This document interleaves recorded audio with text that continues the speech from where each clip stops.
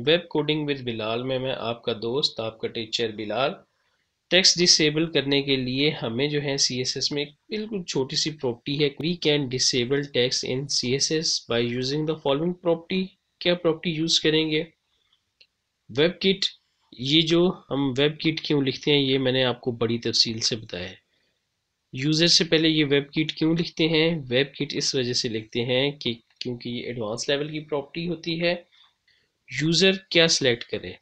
None कर दे। ठीक है? प्रॉपर्टी क्या है? यूज़र सिलेक्ट की है। नन तो हम जाके वेब ब्राउज़र पे देखते हैं कि ये प्रॉपर्टी किस तरह वर्क करती है और इसके साथ ही हम सिलेक्शन का क्राइटेरिया भी देख लेंगे। तो चलते हैं वेब ब्राउज़र पे। स्टूडेंट्स ये मेरे पास इंडेक्स की फ़ाइल है। आपको पता है, जब हमने इसको एडिट करना होता है ओपन विद नोट पैड कर लेते हैं और जब इसको व्यू करना होता है, इस पर डबल क्लिक करके आप व्यू कर लेते हैं। तो इसको हम स्मॉल करते हैं।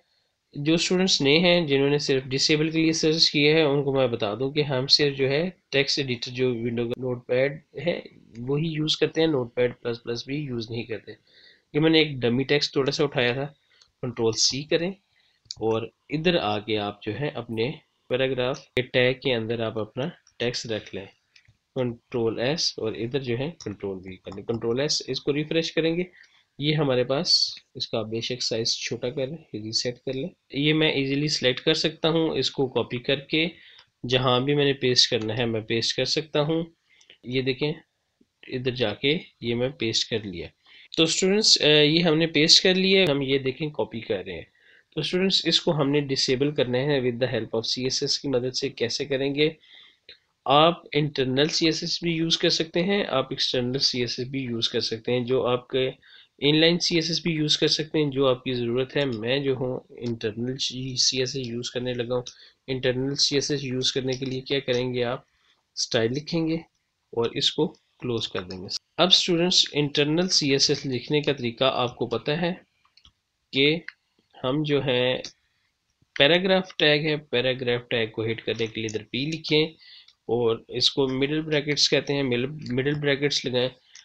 अब जो प्रॉपर्टी थी, वो थी यूज़र सेलेक्ट ओके नन ये प्रॉपर्टी है. क्या थी? यूज़र सेलेक्ट इसको रिफ्रेश करें. जब यूज़र ये सिलेक्ट करें नन हो जाए. ये देखें, मैं भी सिलेक्ट कर रहा हूँ. नन हो गया.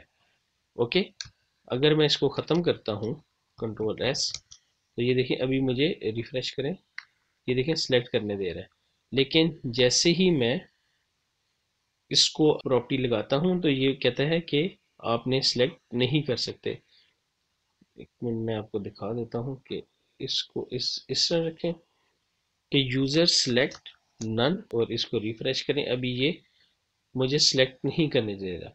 सेलेक्ट नहीं करने दे रहा और इसके अलावा मैं अगर प्रिंट करना चाहूँ, कहीं वेबसाइट ने प्रिंट का ऑप्शन भी नहीं दिया हुआ प्रिंट भी नहीं कर सकते। लेकिन स्टूडेंट्स अब देखिए मैंने वेब किट की प्रॉपर्टी नहीं लगाई।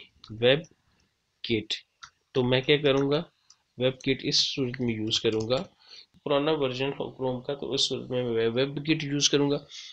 लेकिन आपने वेब किट मस्ट यूज़ करना है। वेब किट इस वजह से यूज़ करना है कि हो सकता है कि जिन क्लाइंट्स की वेबसाइट्स पे आपकी वेबसाइट चले, उनके ओल्ड वर्जनस हों या मुख्तलिफ़ हों तो आपने क्या करना है कि इसी को उठाना है और कंट्रोल वी और इसके लिए मूव्स के लिए हम क्या करेंगे?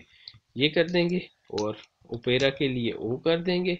ये आपने साथ साथ हर एक में इंक्लूड मस्ट करना है। मैं आपको बार बार बता रहा हूँ क्योंकि एडवांस लेवल पे जब आप जाएँगे या जा रहे होंगे तो उसके लिए ये आपने जब भी अपनी वेबसाइट लिखनी है और इसके ये प्रॉपर्टी यूज़ करनी है, आपको नहीं पता होगा कि आपका यूज़र कौन सा वेब ब्राउज़र यूज़ कर रहा है। आपकी साइट ख़राब ना हो। तो स्टूडेंट्स मिलते हैं नेक्स्ट लेक्चर पे।